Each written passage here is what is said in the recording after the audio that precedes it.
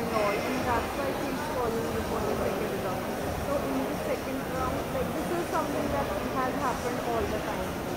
Like in the second round, either they say congratulations and they will tell you.